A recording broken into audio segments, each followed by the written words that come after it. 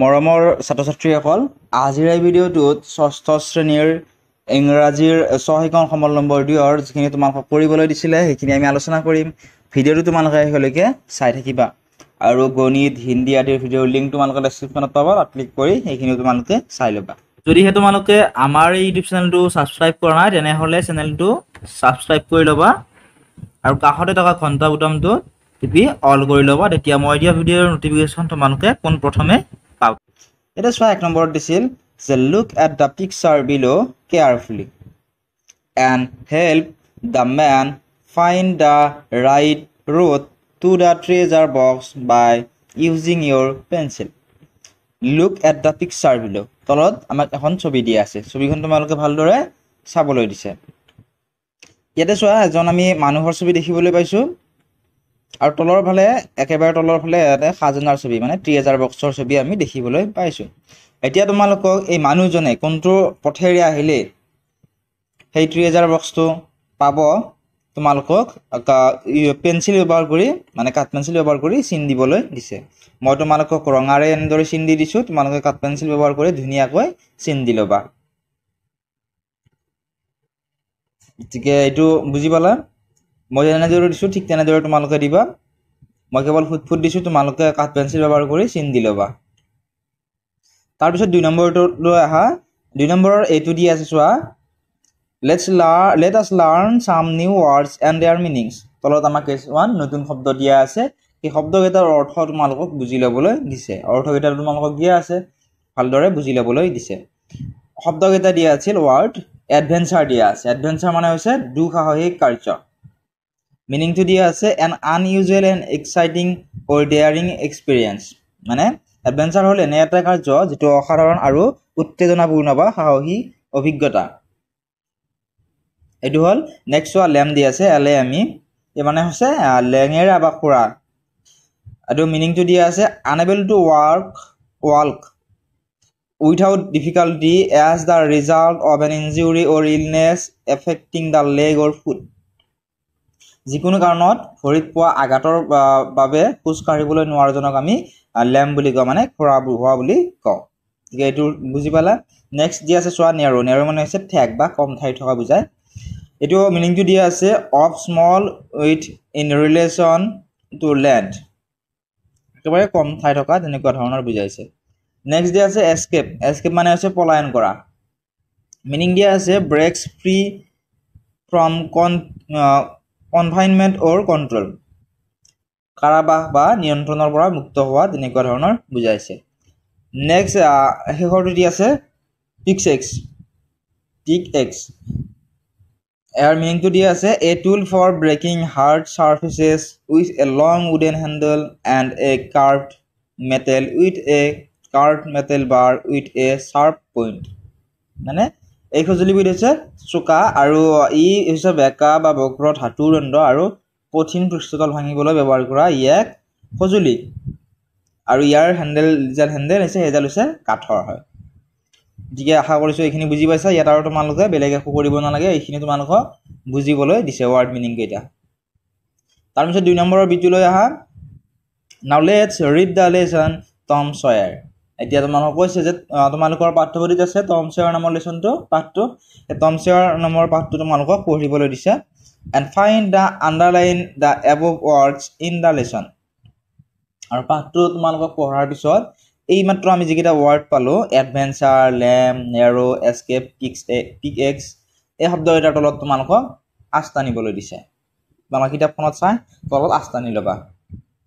কাঠ পেঞ্চিলেৰে।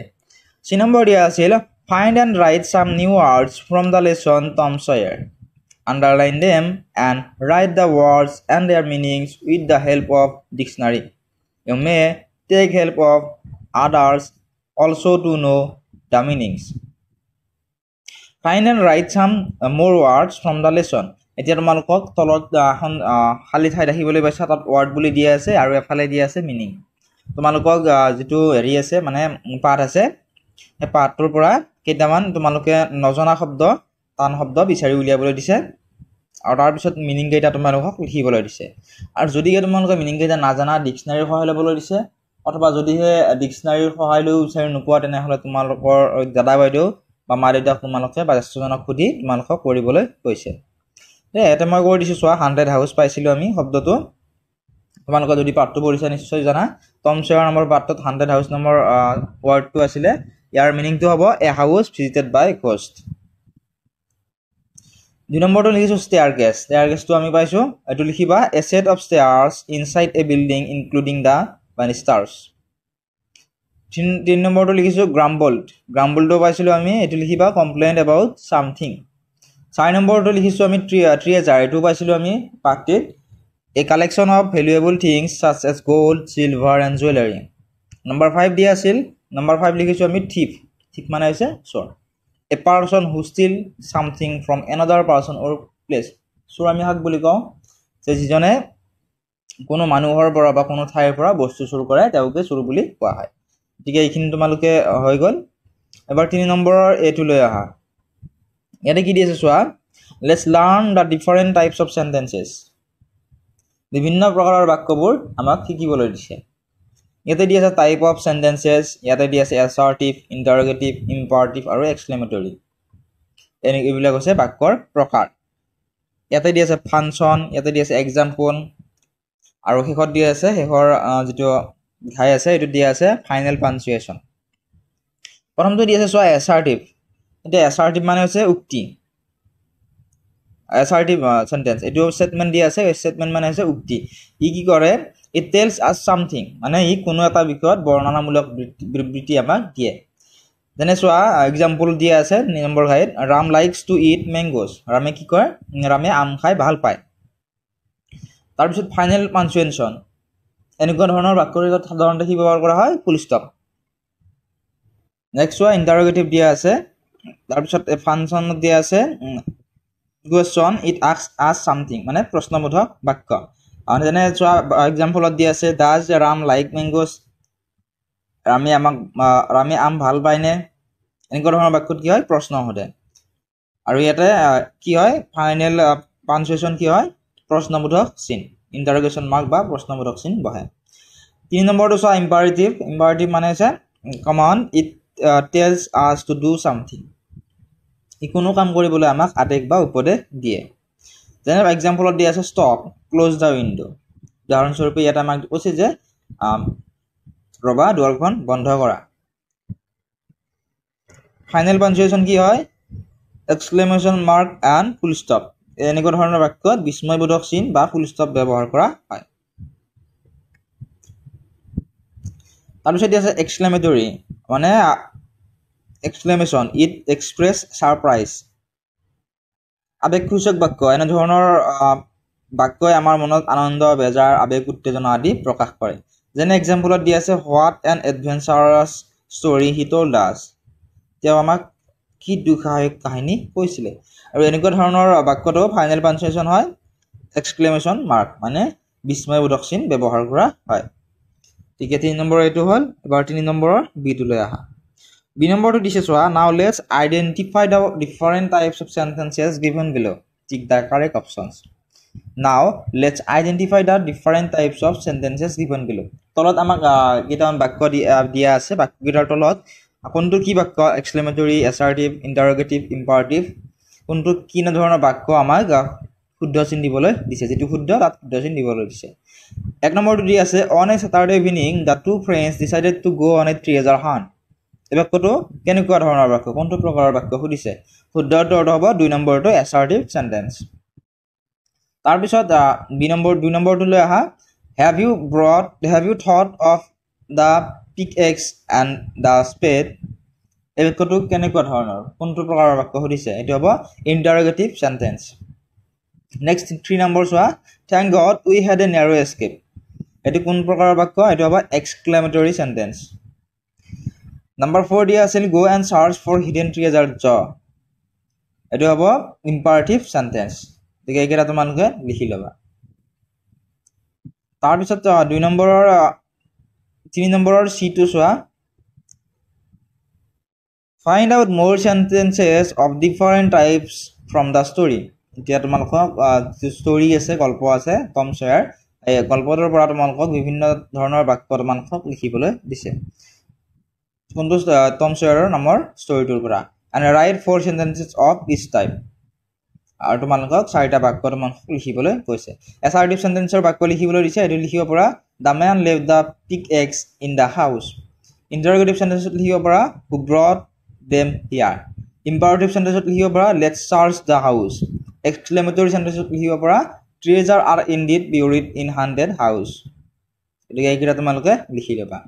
নেক্সট এইবাৰ হাফ চাৰি নম্বৰলৈ চাৰি নম্বৰ দিছে চোৱা look at the pictures below' and find the matching words from they for them from the lesson look at the pictures below' তলত আমাক কেইখনমান ছবি দিয়া আছে সেই ছবিকেইখন ভালদৰে আমাক চাবলৈ দিছে।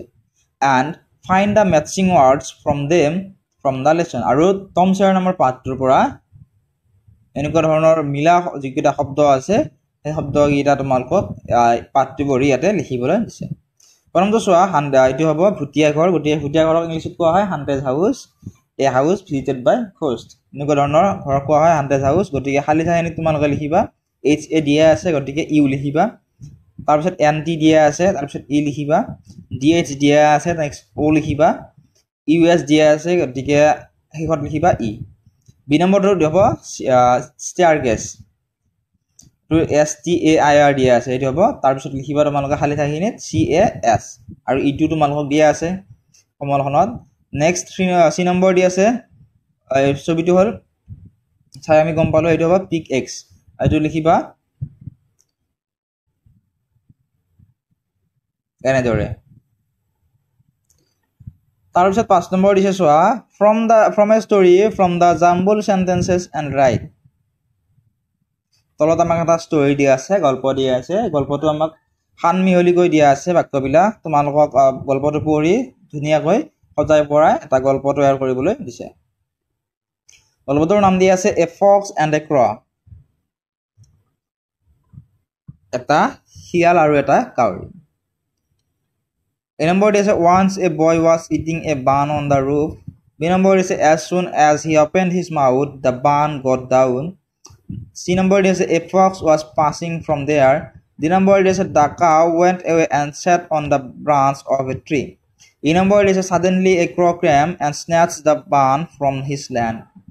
F number is he flattered the crow by saying that his voice was wonderful. G number is immediately the fox picked the bun and disappeared. H number is he saw the bun in the peak of the crow and got an idea. I number is he requested the crow to sing a song and the crow started singing. এই বাক্যকেইটা তোমালোকক ভালদৰে এটা সজাই পৰাই লিখিবলৈ দিছে। গতিকে এনেদৰে লিখিবা এনচাৰত once a boy was eating a bun on the roof full stop দিবা। তাৰপিছত লিখিবা suddenly a crow came and snatched the bun from his hand তাৰপিছত আকৌ full stop the crow went away and sat on the branch of a tree আকৌ full stop তাৰপিছত লিখিবা a fox was passing from there ইয়াতে full stop হ'ব তাৰপিছত আকৌ he saw the bun in the beak of the crow and got an idea ইয়াতেও full stop he flattered the crow by saying that his voice was wonderful ইয়াতেও full stop he requested the crow to sing a song and the crow started singing. এটা হ'ব full stop.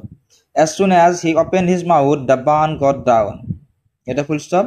শেষৰ বাক্যটো লিখিবা immediately next কমা দিবা the fox picked the barn and disappeared. গতিকে আজিৰ ভিডিঅ'ত এইখিনিয়ে যদি গণিত আদিৰ ভিডিঅ' তোমালোকে বাহিৰকেইটা ছাবজেক্ট কৰা নাই ডেছক্ৰিপশ্যনত লিংক দি আছে তাত ক্লিক কৰি তোমালোকে চাব পাৰিবা